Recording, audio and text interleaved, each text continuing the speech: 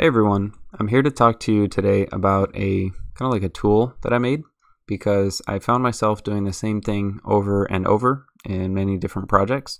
And when you are coding, if you're doing the same thing over and over, it's probably a good idea to figure out if you can do that same thing in less lines. It makes it a little bit easier to read, and then in the long run, it might actually save you some time. So here we go. Uh, what I've created is this class over here. And um, it's going to be pretty handy because what it allows us to do is it lets us increase the size of any array, no matter what the type is, by one and insert a value into that array. So this is pretty cool because I found myself in many different projects doing the following. I would have these arrays and I'd want to change the size of these arrays and it takes about like four or five lines to do that. That's not too big of a deal, but when you're doing this with different types, you can't even copy and paste because you have to do extra little changes. Um, and yes, I, I, guess that's not too big of a deal, but it is a hassle and it does take up a little bit of extra time and it makes it a little bit harder to read because those four or five lines that you actually have to use, they're not that readable. So here's what I did. I said, I have this character array and this int array and I want to add something into each array and I want to do it the same way both times. So I'm going to need a more um, lower level class, something a little bit more general that I can modify instead and apply the code to that and somehow figure out what type of array I'm supposed to return. So I'm using the system array type.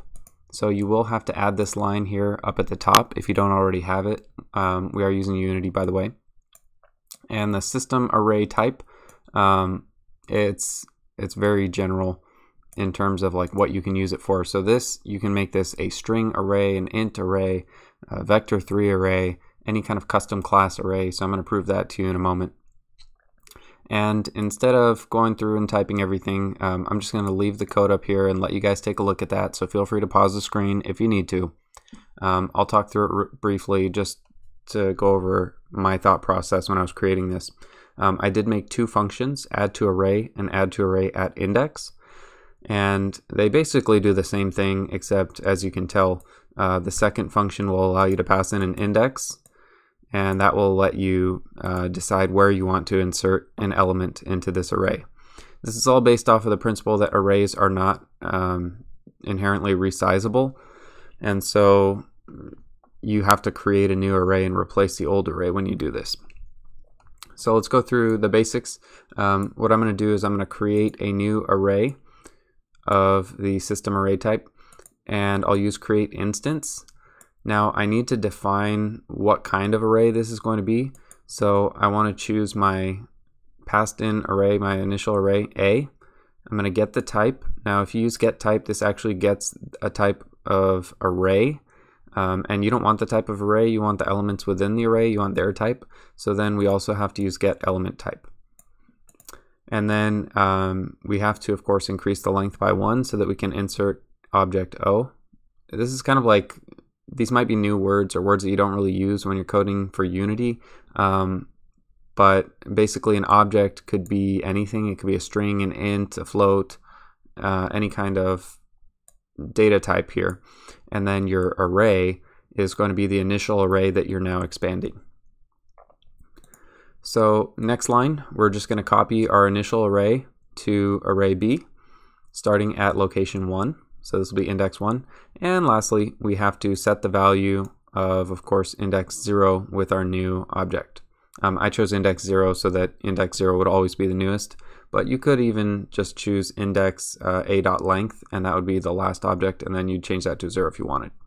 Um, this line is really not necessary because we're returning a value. You could just return b, but I'm going to say a equals b and return a, just because I was doing some copying and pasting before. For the second function, it's basically the exact same thing, except instead of using copy to, which copies the entire array A. We're going to loop through and set the values manually, except for, of course, the index that you've selected, and then we're going to set the index to the object value. So to kind of show you how this works, I've created a separate script, which basically doesn't do very much, except um, it's going to create an int array of numbers. I'll give that a, a length of two.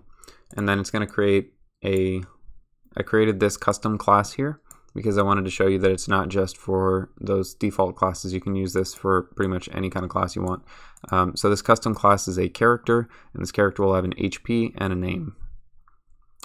So I'm going to use input get key down key code space so that whenever I press space, the following two things will happen.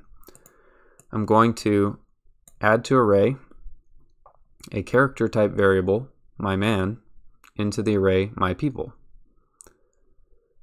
I'm going to add to the array the next number, an integer type, into the integer array numbers. You'll notice I've referenced AE here. AE is that array expansion class that we created over here.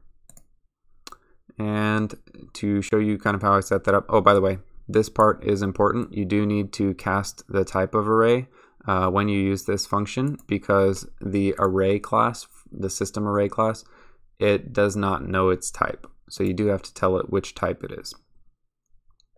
So I go into Unity, I create an empty game object. I'm going to call it holder of arrays. And I've attached both scripts. You only need to attach the array expansion script one time so that you can get the reference and then you can use it as many times as you want throughout the scene.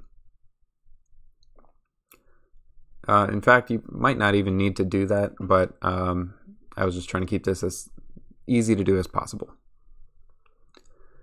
So the character data script, I'm going to go ahead and fill in a couple of values. I gave uh, my man some HP and I gave him a name, call him Carl. And for the next number, I gave that one a value. I'm just going to type in the number 5. And I did have to drag and drop the array expansion script into this box over here. Now, when the script starts up, numbers is going to get a size of 2, and my people will stay at size of 0. It's important that I do it this way so that I can show you this function will work whether or not the array has a size. So right now, even with a size of 0, um, we're still going to be able to add something. So I'll just click in the scene and press space. And as you can see, Carl has been added to my people, and the number 5 has been added to the numbers array. They both increased by size, they both increased in size by 1, and they've gotten the, um, the values that I wanted to add into them. So I've changed next number, and I'll go ahead and press space again. And as you can see, Carl has been added one more time, and I've added element 8 again one more time. You can do the same thing with add to array at index. The only difference would be if you do add to array at index, you have to add a third parameter to pass in. So you could pass in, let's say, parameter 3 right here. So that'll be index 3. You just have to be careful that you don't accidentally um, pass in a value that's beyond the limits of the array. Otherwise, you're going to get an out of bounds exception. So that's it for my video. Um, some things you could do in the future. I might do this also in the future. Um, instead of just doing an add to array function, I might also do a remove from array function and a remove from array at index because it might be useful to have uh, both of these or both functions available. And um, that's about it. If you guys would like to see more of these videos that are uh, a little bit less common, um, they're kind of like programming hacks, let me know and I'll continue to make those. Otherwise, I do have a subscribe button up there, so make sure you get a chance to click it and uh, like the video if it helped you out. And yeah, that's it. I'll see you guys in the next video.